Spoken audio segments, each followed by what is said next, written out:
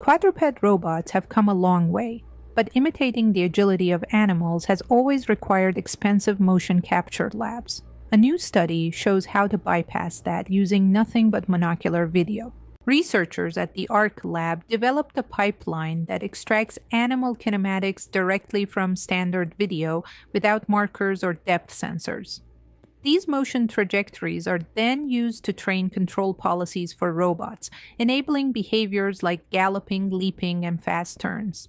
The system combines pose estimation with reinforcement learning. First, a neural network reconstructs 3D poses from 2D video.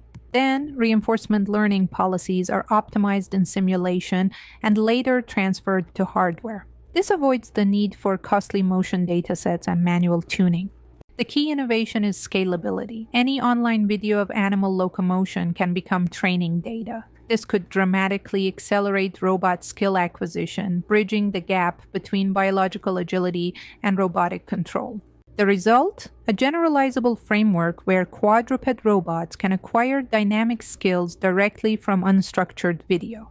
A step toward reducing reliance on curated datasets and pushing robot learning closer to real world scalability.